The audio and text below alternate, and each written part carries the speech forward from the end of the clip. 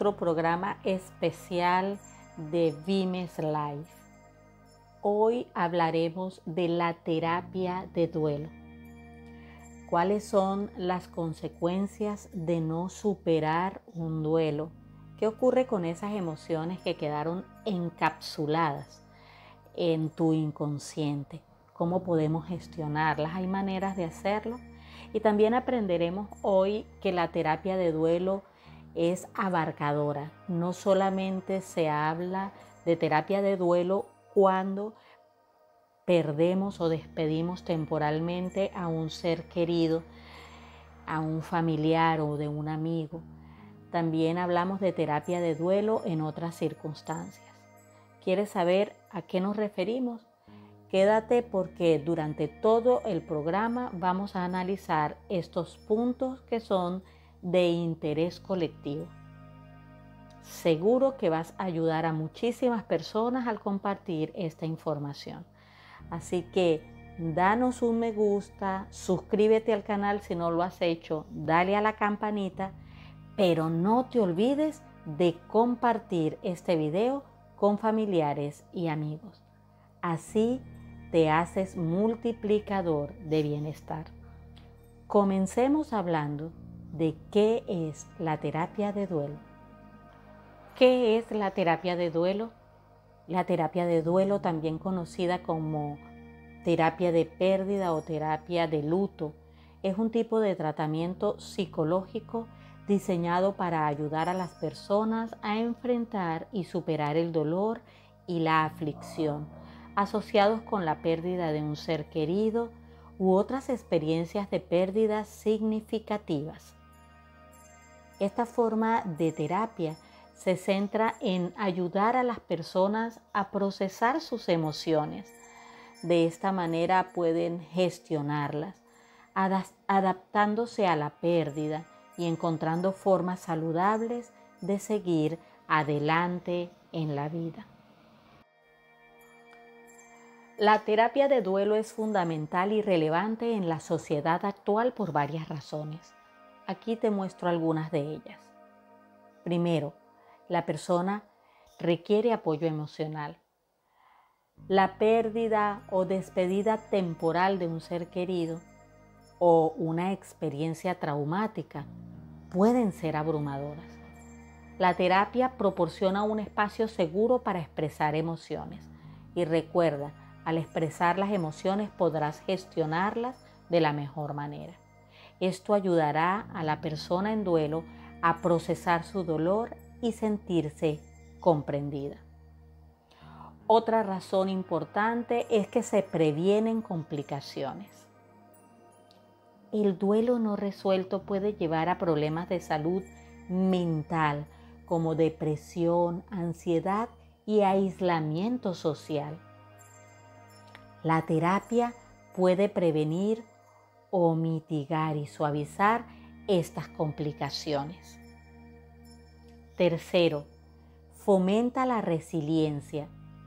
A través de la terapia, las personas pueden aprender a adaptarse y encontrar significado en su pérdida, en su despedida temporal, lo que puede fortalecer su capacidad para afrontar futuros desafíos. 4 mejora de las relaciones. La pérdida de un ser querido puede afectar las relaciones interpersonales.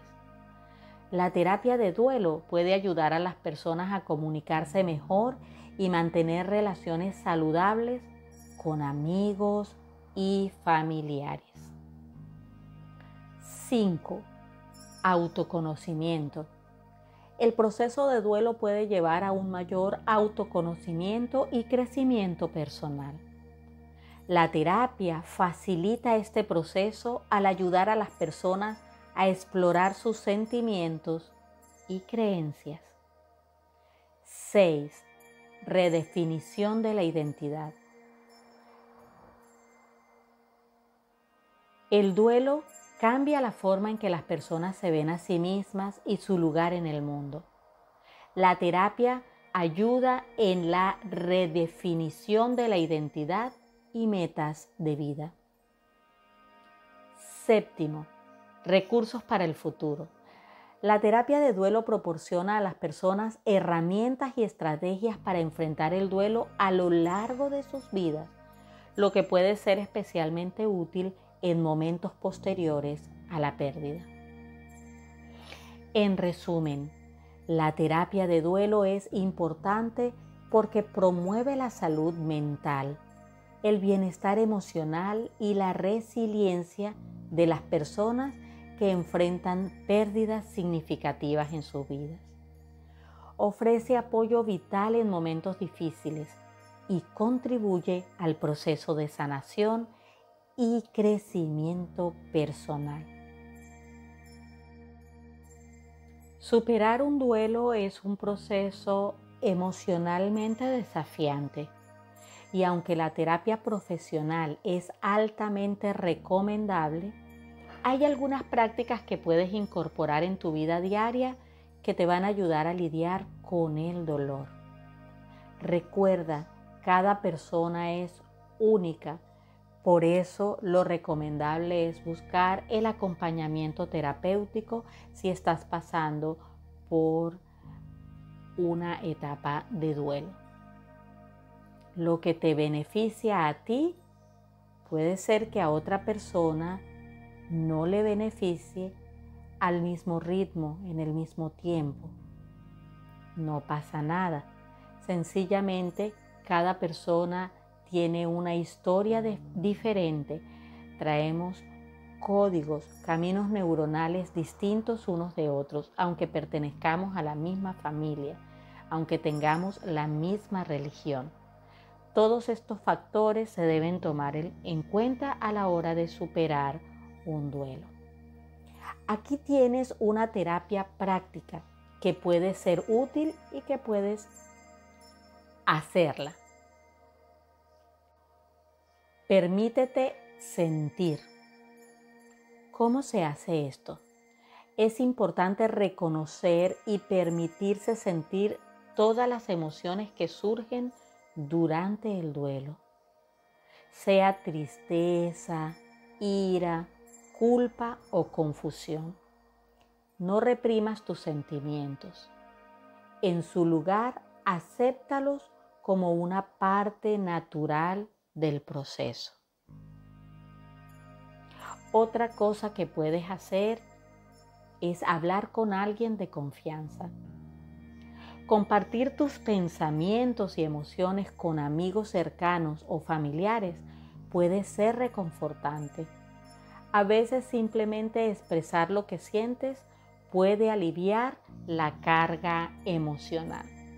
De hecho, este punto está muy conectado con el anterior, porque es ese amigo, ese familiar, el que va a entender tu tristeza, tu ira, tu culpa, tu confusión.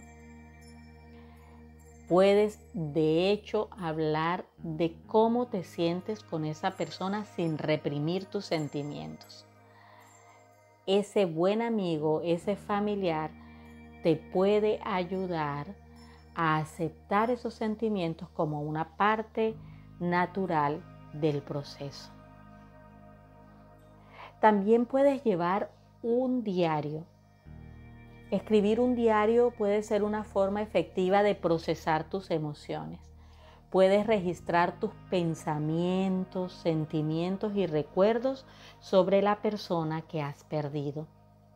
Esto te ayudará a dar sentido a lo que estás experimentando. Otra parte importante de esta terapia personal es el cuidado que te das. No subestimes la importancia de cuidar tu bienestar físico y emocional. Cosas como comer saludablemente, hacer ejercicio, asegurarse de descansar lo suficiente son importantísimos. El autocuidado puede fortalecer tu capacidad para sobrellevar el duelo. Y aquí es importante que tengas una persona en quien apoyarte. Puedes buscar ese amigo o ese familiar que está dispuesto inclusive a comer contigo, a hacer ejercicios, acompañarte hacer los ejercicios regularmente y también a que te recuerde la importancia de descansar lo suficiente. Agrega en tu agenda estos momentos de cuidado personal para que no dejes estas actividades a la deriva. Otra recomendación para esta terapia personal puede ser meditar y respirar. La meditación y las técnicas de respiración profunda pueden ayudarte a reducir el estrés y la ansiedad. Dedica tiempo diario para centrarte en el presente y calmar tu mente. Ve a la descripción de este video porque allí te dejaré el enlace del programa de cómo aprender a respirar de manera correcta. La respiración diafragmática es un aliado para nuestra salud emocional y física. En momentos de duelo también es una herramienta muy valiosa. Además, busca apoyo profesional. Un coach emocional, un terapeuta especializado en duelo, un psicólogo pueden brindarte orientación y herramientas específicas para lidiar con tu pérdida.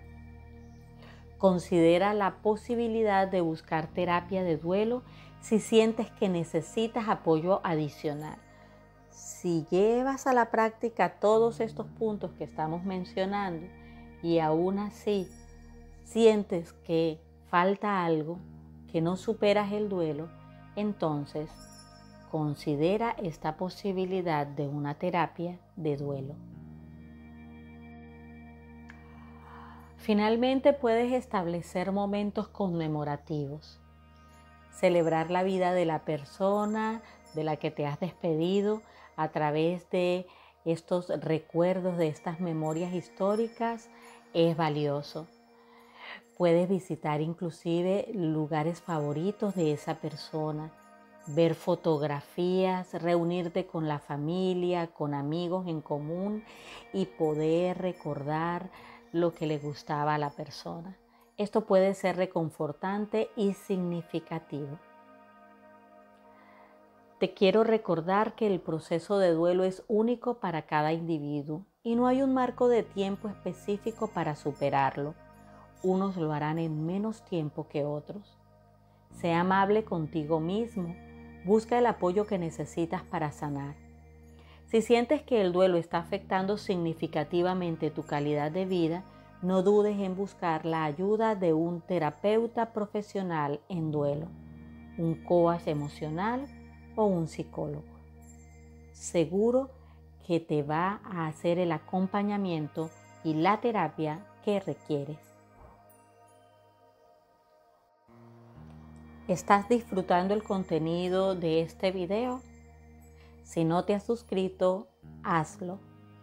Y recuerda, hazte multiplicador de bienestar. Comparte este video para que otros se beneficien de esta manera podrás ayudar a muchos que están a tu alrededor que quizás tienen duelos no resueltos. Y si es posible, ni siquiera lo saben. Además, dale a la campanita para que te lleguen los recordatorios y disfrutes del contenido completo que tenemos en Bimes Live para ti y para tu familia. Ahora hablaremos de la pérdida de una mascota. ¿Podemos decir que esto es un duelo? A continuación explicamos este punto. La pérdida de una mascota puede producir sensaciones de duelo. Sí, puede provocar un profundo sentimiento de duelo en las personas. Para muchas personas las mascotas son parte de la familia y establecen conexiones emocionales significativas con ellas. Cuando una mascota fallece es común experimentar un proceso de duelo en ocasiones similar al que se siente por la pérdida de un ser querido. En este punto queremos recordar algo muy importante. Para tu universo craneal, para tu cerebro, duelo es una sola ruta neuronal. No está por separado. El duelo o pérdida de un familiar se programa y alimenta programas en el cerebro de una misma manera. Si el duelo es por una mascota, si el duelo es por la pérdida del trabajo o por otras situaciones similares, va a ir al mismo programa de la pérdida de un ser querido, de un familiar. No estamos haciendo comparaciones, ni estamos diciendo que es igual la pérdida de un familiar a la pérdida de un objeto o de una mascota. Estamos diciendo es cómo lo programa y lo guarda el cerebro. ¿Que puede haber más intensidad en unos que en otros? Sí, por supuesto que sí. Sin embargo, la ruta neuronal de pérdida en el cerebro se alimenta por todo lo que sea duelo o pérdidas. Cuando entendemos este punto, entonces podemos entender que cuando una mascota fallece es común experimentar un proceso similar al que se siente por la pérdida de un ser querido. El duelo por la pérdida de una mascota puede manifestarse de diferentes maneras. Incluyen una tristeza intensa, Muchas personas sienten una profunda tristeza cuando pierden a una mascota que ha sido parte de sus vidas durante mucho tiempo. También hay nostalgia y hay recuerdos. Se pueden experimentar sentimientos de nostalgia y una fuerte necesidad de recordar a la mascota a través de fotografías y recuerdos compartidos. Se experimenta un vacío emocional. La ausencia de la mascota puede dejar un vacío emocional en el hogar, lo que puede ser difícil de sobrellevar. Hay culpa o arrepentimiento en algunos casos. Algunas personas pueden sentir que por no haber hecho lo suficiente por su mascota y que no tomaron decisiones durante su vida, eso les afectó. Por lo tanto, se siente esta culpa o arrepentimiento. También hay negación y shock. Al principio es posible que algunos no puedan aceptar la realidad de la pérdida y se sientan en estado de shock. Puede haber aislamiento. El duelo por la pérdida de una mascota puede llevar a las personas a aislamiento social, ya que puede ser difícil para algunas hablar sobre su pérdida con otros que no entienden completamente su relación con la mascota. Cuidado con minimizar la pérdida de una mascota en tus amigos, tus familiares, inclusive en tus hijos. Para ellos es muy importante lo que ha ocurrido.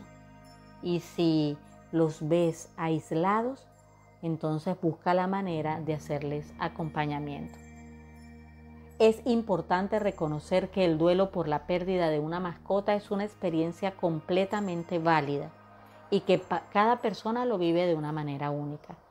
Para algunos, buscar apoyo emocional de amigos y familiares o incluso considerar la terapia de duelo puede ser útil para procesar adecuadamente sus emociones y encontrar consuelo en un momento que para ellos es muy difícil. Es importante que si no somos nosotros los que estamos en duelo, comprendamos a la persona que está pasando por este momento. A continuación veremos qué otros acontecimientos pueden requerir una terapia de duelo. Esta no se limita únicamente a la pérdida de un ser querido. Ya vimos que la pérdida de una mascota puede ser otra razón. Es beneficioso en una variedad de situaciones hacerse esta terapia porque las personas están experimentando pérdidas significativas o cambios importantes en su vida y a veces no sienten que requieren una terapia. Aquí vamos a hablar de algunos aspectos donde la persona y su cerebro lo toma como pérdidas. Son acontecimientos que pueden requerir esta terapia. hablemos del divorcio o la separación. La ruptura de una relación matrimonial o de pareja puede provocar una sensación de pérdida, especialmente si la relación era duradera o tenía un profundo significado emocional. Otra cosa podría ser la pérdida de empleo. La pérdida de trabajo puede llevar a una sensación de identidad y seguridad amenazadas, así como a la preocupación por el futuro financiero. Hablemos también de la pérdida de salud. Una enfermedad grave, un diagnóstico médico difícil o una discapacidad pueden provocar sentimientos de duelo debido a la pérdida de la salud o la vida que se tenía antes. Ya hablamos de la pérdida de la mascota. Como mencionamos previamente, la pérdida de una mascota querida puede ser profundamente dolorosa y requiere apoyo emocional. Podríamos también mencionar la pérdida de una amistad significativa. El final de una amistad cercana o una relación de confianza puede generar una sensación de pérdida y desolación. La pérdida de una oportunidad importante. La pérdida de una oportunidad académica, por ejemplo, laboral o personal, que era muy esperada y significativa, puede desencadenar el duelo. En este caso también se requiere terapia. Podríamos mencionar en esta lista la pérdida de una capacidad física, la adaptación a la vida después de perder una capacidad física como la movilidad, la vista, el oído, puede requerir apoyo emocional y ayuda para esa transición. Hay otra pérdida que podemos mencionar aquí, por supuesto, la pérdida de la juventud o pérdida de independencia. A medida que las personas envejecen pueden experimentar una sensación de pérdida relacionadas con la juventud, la independencia y las capacidades físicas. Aquí es muy importante terapias como la técnica de cinco pasos, que te va a ayudar en el proceso de menopausia y andropausia, por ejemplo. Es importante que tengamos este tipo de terapias a la mano, que las conozcamos o busquemos un profesional que las utilice para que nos ayude en ese proceso.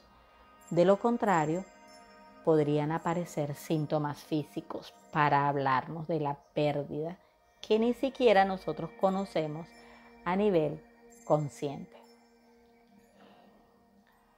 Otra pérdida son los cambios importantes en la vida cambios como mudanzas, jubilación, nacimientos, adopciones, entre otros. Aunque pueden ser positivos, también pueden desencadenar sentimientos de pérdida y requieren ajustes emocionales. La terapia de duelo, puede ser un recurso valioso en cualquiera de estas situaciones que acabamos de mencionar Puede ayudar a las personas a procesar sus emociones, a gestionarlas, a encontrar apoyo y aprender a adaptarse a los cambios en sus vidas. Es importantísimo reconocer que el duelo es un proceso único y personal. Lo hemos repetido varias veces durante este programa porque es importante tenerlo claro. No existe una única forma de lidiar con el proceso de duelo. La terapia proporciona un espacio seguro para explorar y trabajar a través de estos sentimientos y transiciones.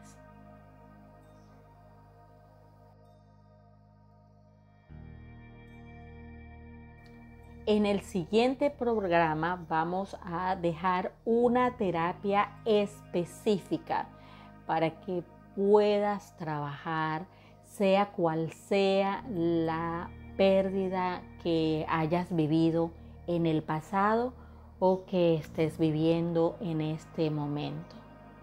Esa terapia específica la puedes realizar en casa.